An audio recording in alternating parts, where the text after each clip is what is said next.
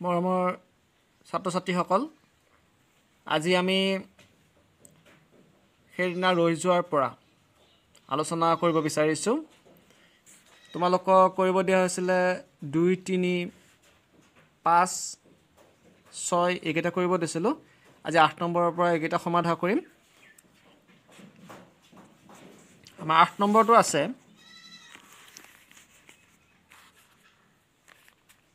আঠ নম্বৰ অংকটোত আছে বাৰ পূৰণ পাঁচ হৰণ ছয় বিয়োগ সাত পূৰণ ছয় হৰণ তিনি যোগ আঠ পূৰণ ছয় হৰণ বাৰ। এতিয়া আমি দেখিছোঁ ইয়াত প্ৰথমতে পূৰণৰ কাম আছে বাৰ আৰু পাঁচ বাৰ আৰু পাঁচ পূৰণ কৰিলে ষাঠি হ'ব। হৰণ ছয় বিয়োগ সাত ছয় গুণ বিয়াল্লিছ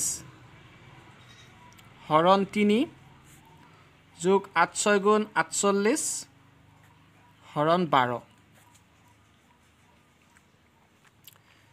ছয়ৰে ষাঠিক হৰণ কৰিলে দহবাৰ যাব ছয় দহ গুণ ষাঠি হ'ল। তিনিৰে বিয়াল্লিছক যেতিয়া আমি হৰণ কৰিম তেতিয়া আমি ফলাফল পাম তিনি এগুণ তিনি এক বাকী ৰ'ল বাৰ হ'ল তিনি চাৰি গুণ বাৰ। দেখা পালোঁ চৈধ্যবাৰ গৈছে। গতিকে চৈধ্য লিখিম ইয়াত। যোগ বাৰৰে আঠচল্লিছক চাৰিবাৰ যাব। চাৰিবাৰ গুণ আঠচল্লিছ ইয়াত যোগকেইটা এফাল কৰা। দহ আৰু চাৰি যুগত যোগ চিনৰ ভিতৰত আছে। দহ যোগ চাৰি। আৰু ই অকলে আছে বিয়োগ চৈধ্য। দহ আৰু চাৰি যোগ কৰিলে চৈধ্য হ'ব বিয়োগ চৈধ্য। চৈধ্যৰ পৰা চৈধ্য গ'লে শূন্য হ'ল। এইটো ওলাই গ'ল আমাৰ উত্তৰ। আমি লিখি দিম উত্তৰ শূন্য। এইটো তোমালোকে নিশ্চয় বুজি পাইছা। তাৰপিছত তোমালোকৰলৈ আছে ন নম্বৰ যিটো অংক আছে পঁচিছ যোগ চৈধ্য হৰণ সাত পূৰণ তিনি বিয়োগ পাঁচ পূৰণ ছয় হৰণ দহ যোগ ছয় বিয়োগ আঠ। এই হ'ল তোমালোকে চেষ্টা কৰিবা সাতেৰে প্ৰথমতে চৈধ্যক হৰণ কৰিবা। এতিয়া পূৰণ চিন পিছতহে আছে যিহেতু সেইকাৰণে আগবাঢ়ি হৰণ কৰিব লাগিব। তাৰপিছত এইখিনি গ'ল।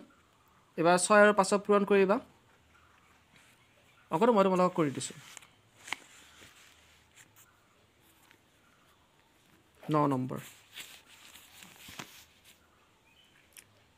অংকটো আছে পঁচিছ যোগ চৈধ্য হৰণ সাত পূৰণ তিনি বিয়োগ পাঁচ পূৰণ ছয় হৰণ দহ যোগ ছয় বিয়োগ আঠ।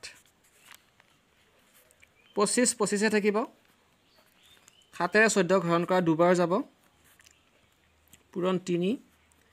ছয় পাঁচ গুণ ত্ৰিছ হ'ল কাৰণ পূৰণৰ কাম আগত আছে হৰণৰ কাম পিছত আছে। দহ যোগ ছয় বিয়োগ আঠ। এতিয়া পঁচিছ পঁচিছে থাকিলে এই দুটা পূৰণ কৰা তিনি দুগুণ ছয় হ'ল।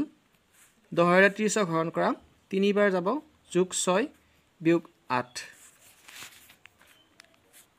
যোগকেইটা এচাইড কৰা পঁচিছ ছয় ছয়। এফাল কৰিব লাগিব। পঁচিছ যোগ ছয় যোগ ছয়। আৰু ইফালে তিনি যোগ আঠ। এইটো আগতে মই কৈ দিছোঁ আগৰ ভিডিঅ'টোত আলোচনা কৰিছিলোঁ যে দুইটা আগত বিয়োগ চিন থকাৰ কাৰণে এটা বিয়োগ চিন দিলে ভিতৰতে যিটো যোগ কৰিব লাগিব কাৰণে যোগ চিন দিব পৰা বন্ধনীৰ ভিতৰত। ছয় পাঁচে এঘাৰ এঘাৰ ছয় সোতৰ সাত হাতে গ'ল এক দুই একে তিনি সাতত্ৰিছ হ'ল আৰু আঠে তিনি এঘাৰ হ'ব। সাতৰ পৰা এক গ'লে ছয় তিনিৰ পৰা এক গ'লে দুই ছাব্বিছ। উত্তৰ ছাব্বিছ।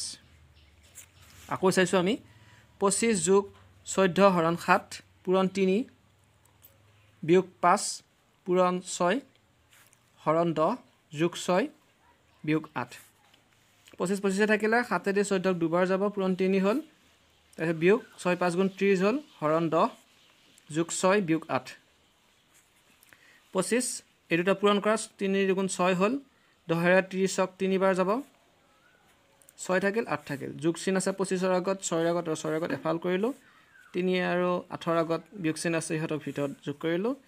এইখিনি যোগ কৰোঁতে ছয় পাঁচে এঘাৰ এঘাৰ ছয়ে সোতৰ সাত হাতে গ'ল এক দুই একে তিনি সাতত্ৰিছ হ'ল আৰু আঠে তিনি এঘাৰ বিয়োগ কৰিলে ছাব্বিছ হ'ব উত্তৰ ছাব্বিছ। নিশ্চয় তোমালোকে বুজি পাইছা? তোমালোকে দহ নম্বৰ আৰু এঘাৰ নম্বৰ অংক দুটা কৰিবা। মই বাৰ নম্বৰ অংকটো কৰি দিছোঁ।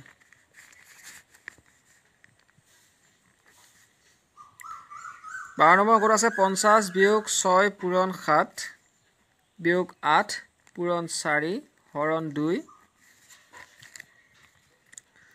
যোগ তিনি পূৰণ ছয় বিয়োগ পাঁচ পূৰণ ন হৰণ পন পোন্ধৰ। এতিয়া অংকটো চাবা। প্ৰথমতে পঞ্চাছটো পঞ্চাছে থাকিল।